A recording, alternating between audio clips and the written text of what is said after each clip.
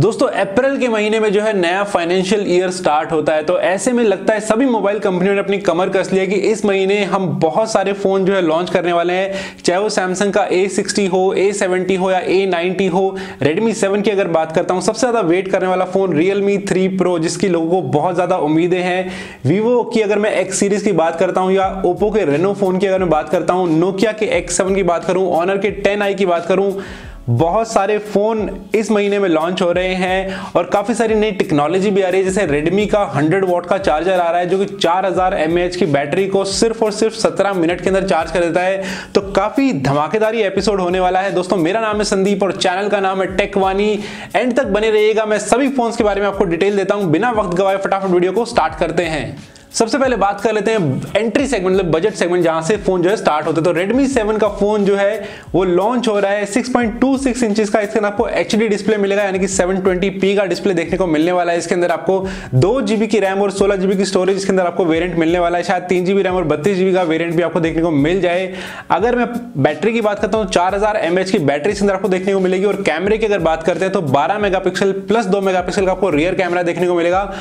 और 8 मेगापिक्सल आपको front camera देखने को मिलेगा। अगर प्राइस की बात करूँ, ये स्नैपड्रैगन 632 के साथ आने वाला है।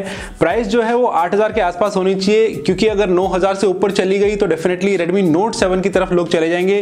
तो एक्सपेक्टेड प्राइस ये है कि 8000 7999 रुपए का प्राइस होगा और तीन जीबी बत्तीस जीबी का जो प्राइस है, वो शायद आठ हज़ार नौ सौ निन्यानवे रुपए हो जाए। मूव ऑन करते हैं दूसरे फ़ोन की तरफ़, जो कि सबसे ज़्यादा वेटेड फ़ोन है, Realme 3 Pro के बारे में, और जितनी ज़्यादा लीक्स इसके बारे में आ चुकी है। तो मोटा मोटा मेरे जो कंफर्म है उसके बारे में आपको बता देता हूँ। दोस्तों, जो प्रोसेसर है, वो शायद P70 ही होने वाला है। अगर लोगों को लगा था P90 या 675 या 710 या 712 होने वाला है तो मेरी जैसी मतलब जैसा मैंने कैलकुलेशन करी मुझे यही लगता है क्योंकि प्राइस टैग एक बहुत इंपॉर्टेंट रोल प्ले करता है और मुझे लगता है कि जैसा कि पिछली बार ही हुआ है रियलमी थ्री के अंदर जो उन्होंने हज़ार रुपए कम में लॉन्च कराया है, वैसे ही Realme 3 Pro के अंदर होने वाला है कि वो भी शायद तेरह हज़ार नौ सौ निन्यानवे की जगह बारह हज़ार नौ सौ निन्यानवे के अंदर ही लॉन्च हो। तो ऐसे में P90 देना बहुत मुश्किल है। तो P70 और ये बहुत अच्छा प्रोसेसर है, ऐसी कोई बात नहीं है। मैंने कंपैरिजन भी किया है P70 का 675 के साथ। अगर आपने नहीं देखा तो मैं ऊपर लिंक में वीडियो दे रहा हूँ, उसको ज़रूर देखिएगा। इस वीडियो के खत्म होने के बाद 6.3 इंचेस की आपको फुल एचडी प्लस डिस्प्ले आपको देखने को मिलने वाला है और शायद ऐसा हो सकता है कि इसके अंदर आपको इन डिस्प्ले फिंगरप्रिंट देखने को मिल जाए, क्योंकि सुपर एमुलेट डिस्प्ले इसके अंदर मिलने वाला है। और ओप्पो का K1 जो फ़ोन लॉन्च हुआ था कुछ कुछ सिमिलैरिटी इस फ़ोन के अंदर वो होने वाली है। चार जीबी, चौसठ जीबी और छह जीबी, चौसठ जीबी के दो वेरियंट अंदर आपको देखने को मिल सकते हैं। शायद एक जीबी का वेरियंट भी आपको देखने को मिल जाए। कैमरे की अगर बात करते हैं तो रियल में शायद आपको सोलह मेगा प्लस पाँच मेगा का ड्यूल कैमरा देखने को मिलेगा और फ्रंट में आपको बीस मेगा का सेल्फी कैमरा देखने को मिल सकता है। जैसा कि मैंने अभी बात करी, ओप्पो K1 से थोड़ा मिलता हुआ हो सकता है, लेकिन ओप्पो K1 के अंदर जो दो कमियाँ थी, एक तो माइक्रो यूएसबी का होना, साथ में फास्ट चार्जिंग का ना होना। तो उम्मीद करता हूँ कि इसके अंदर वो कमियाँ दूर की जाएँगी तो फास्ट चार्जिंग का सपोर्ट भी आपको मिल सकता है और साथ में यूएसबी सी का सपोर्ट भी मिल सकता है। प्राइस जैसा कि मैंने बताया, तेरह के आसपास हो सकता है और हम मूव ऑन करते हैं नेक्स्ट फ़ोन की तरफ़। अगले अगर फ़ोन की बात करें तो वो है ओप्पो का रेनो और ये दस अप्रैल को लॉन्च होने वाला है और दस अप्रैल की एक और चीज़ है कि इसमें टेन जूम भी होने वाला है। काफ़ी कमाल का ये वीडियो है, साथ में मैं चला देता हूँ कॉन्फ़िगरेशन के साथ मतलब किस तरीके से कैमरे को स्नैपड्रैगन के प्रोसेसर को इसके अंदर फिट किया गया है, अगर कॉन्फ़िगरेशन की बात करते हैं तो इसके अंदर आपको 6.4 इंच का सुपर एमुलेट डिस्प्ले देखने को मिल जाएगा, जिसके अंदर आपको इन डिस्प्ले फिंगरप्रिंट देखने को मिलने वाला है। छह जीबी की आपको रैम मिलेगी, साथ में एक की स्टोरेज देखने को मिलेगी। स्नैपड्रैगन का 710 का प्रोसेसर इसके अंदर आपको देखने को मिलने वाला है। साथ ही रियल में आपको 48 मेगापिक्सल प्लस 20 मेगापिक्सल का कैमरा देखने को मिलेगा और फ्रंट में आपको 16 मेगापिक्सल कैमरा देखने को मिलेगा। 4000 हज़ार के अंदर आपको बैटरी देखने को मिलने वाली है। थोड़ा सा ये फ्लैगशिप की तरफ़ जाता है तो उम्मीद करते हैं कि तीस हज़ार से ऊपर का इसका जो है प्राइस होना चाहिए। और ओप्पो की अगर बात करें तो वीवो की बात कैसे ना करें वीवो लॉन्च कर रहा है वीवो एपेक्स फ़ोन और बहुत ही कमाल का ये फ़ोन है। रीजन ये है, इसकी सबसे खास बात यह है कि इसके अंदर कोई भी बटन नहीं है। इसके साथ में मैं वीडियो चला ही देता हूँ। तो एपेक्स जो फ़ोन है, उसके अंदर कोई भी बटन नहीं है। हालाँकि लोगों को थोड़ा सा हो सकता है शुरुआत में इस्तेमाल करने में दिक्कत आई लेकिन याद कीजिएगा दोस्तों, जब आईफोन सबसे पहले लॉन्च हुआ था तो वो टच स्क्रीन था। तब भी लोग कीपैड फ़ोन यूज़ करते थे, लेकिन आईफोन ने ऐसा एक चलाया कि बिल्कुल ही नया ट्रेंड शुरू हो गया। और मैं बहुत ही ज़्यादा खुश हूँ। वीवो ने पिछले साल से जितनी ज़्यादा मतलब नई इनोवेशन की है, शायद ही किसी और कंपनी ने की हो। अगर वीवो नेक्स्ट की बात करते तो सबसे पहले पॉपअप कैमरा उन्होंने निकाला। सबसे पहले उन्होंने बेजल लेस स्क्रीन उसके अंदर निकाली। और उसके बाद तो मतलब कि इन डिस्प्ले फिंगरप्रिंट भी सबसे पहले वीवो ही लेके आया। और अब जो है बिना बटन का फ़ोन मतलब कोई बटन लेस फ़ोन जो है वीवो लेके आ रहा है। तो एटलीस्ट इनोवेशन की तरफ़ से तो फुल मार्क्स मैं वीवो को दे रहा हूँ। उम्मीद करता हूँ फ़ोन का एक्सपीरियंस भी उतना ही अच्छा होगा।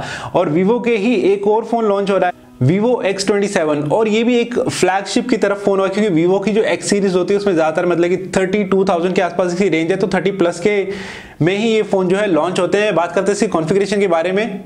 तो इसके अंदर आपको 6.31 इंचेस का सुपर एमुलेट डिस्प्ले देखने को मिल जाता है और ऐसा लग रहा है कि ओप्पो और वीवो ने जो है वो ये एक तरह से स्टैंडर्डाइज कर दिया है कि हर एक फ़ोन के अंदर उनका सुपर एमुलेट डिस्प्ले होगा और साथ में इन डिस्प्ले का उनके अंदर फिंगरप्रिंट स्कैनर होगा। आठ जीबी के आपको रैम मिलेगी, एक जीबी के अंदर आपको स्टोरेज देखने को मिलेगी। चार हज़ार एमएच की बैटरी इसके अंदर आपको देखने को मिलने वाली है। स्नैपड्रैगन 710 का प्रोसेसर इसके अंदर आपको देखने को मिलने वाला है और अगर रियर की बात करें कैमरे की तो ट्रिपल रियर कैमरा इसके अंदर आपको देखने को मिलेगा। अड़तालीस मेगापिक्सल प्लस तेरह मेगापिक्सल प्लस पाँच मेगापिक्सल। और सोलह मेगापिक्सल की आपको जो है वो सेल्फी कैमरा देखने को मिल जाएगा। जैसा कि मैंने बताया, बत्तीस हज़ार के आसपास इसकी रेंज होगी और चार हज़ार एमएच की तरह आपको बैटरी देखने को मिलने वाली है। अब एक इंटरेस्टिंग बात कर लेते हैं रेडमी जो है वो हंड्रेड वॉट का चार्जर जो है वो लॉन्च कर रहा है।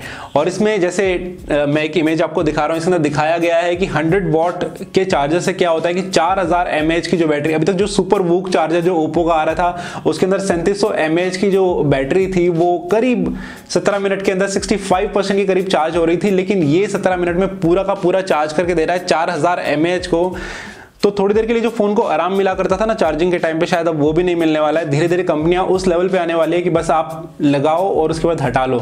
तो शायद टेक्नोलॉजी पता नहीं कैसे आने वाली, लेकिन फ़ोन का जो आराम मिलता था, उसको वो ख़त्म होने वाला धीरे धीरे क्योंकि ये फ़ोन का चार्जर जो है वो लॉन्च हो रहा है। हंड्रेड वॉट चार्जर रेडमी लेके आ रहा है। उम्मीद करते हैं हंड्रेड वॉट से भी ज़्यादा आएगा तो बस पाँच मिनट फ़ोन हमारा चार्ज हो जाएगा। अगले फ़ोन की अगर बात करते हैं तो नोकिया का X7 फ़ोन है और नॉर्मली नोकिया के फ़ोन के अंदर एक मुझे शिकायत है कि जिस तरीके से फ़ोन लॉन्च की डेट बताते हैं, उस तरीके से लॉन्च नहीं करते हैं और मार्केट में तो बिल्कुल भी उतनी तेज़ी से नहीं लेके आते हैं, जिसकी वजह से मुझे लगता है नोकिया जैसा अच्छा ब्रांड जो है वो उस तरीके से मार्केट कैप्चर नहीं कर पा रहा है। इस फ़ोन के अंदर आपको पंच होल डिस्प्ले देखने को मिल जाएगा। साथ में आपको छह जीबी की रैम और चौसठ जीबी की स्टोरेज देखने को मिलेगी। रियर में बड़ा अजीब सा कॉम्बिनेशन है। बारह मेगापिक्सल प्लस तेरह मेगापिक्सल का आपको कैमरा देखने को मिलने वाला है। साथ ही बीस मेगापिक्सल का आपको फ्रंट कैमरा देखने को मिलेगा और साढ़े तीन हज़ार एमएच की बैटरी देखने को मिलने वाली है। यूएसबी सी चार्जर आपको मिल जाएगा। फास्ट चार्जिंग का सपोर्ट आपको मिल जाएगा। उम्मीद करता हूँ फ़ोन जो है वो अप्रैल में लॉन्च हो जाए। और लोगों तक जल्दी पहुँच जाए। कहीं ऐसा ना हो कि लॉन्च करने में पहले अप्रैल का मई कर दे और फिर मई के बाद हाथ में आने में अगस्त ला दे। तब तक इतनी नई टेक्नोलॉजी आ चुकी हो कि फिर उसका कोई फ़ायदा ही ना हो। बात कर लेते हैं अगले फ़ोन के बारे में। तो ऑनर का 10i जो है, फ़ोन लॉन्च हो रहा है और इस फ़ोन के अंदर एक बड़ी अजीब सी कॉन्फ़िगरेशन की बात करता हूँ तो चार जीबी के रैम के साथ एक जीबी की स्टोरेज दे रखी है।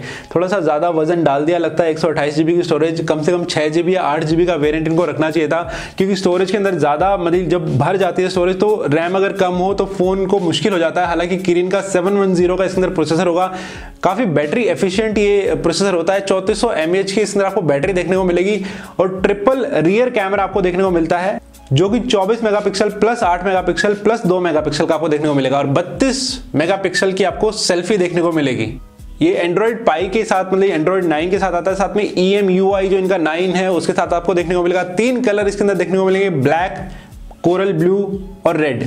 तो ये थे दोस्तों वो फ़ोन जो अप्रैल के महीने में लॉन्च हो रहे हैं। उम्मीद करता हूँ वीडियो आपको पसंद आया होगा। अगर मेरी मेहनत आपको पसंद आती है तो सब्सक्राइब ज़रूर कीजिएगा और लाइक कर दीजिए इस वीडियो को। मैं मिलता हूँ आपसे जल्दी ही नेक्स्ट वीडियो के अंदर।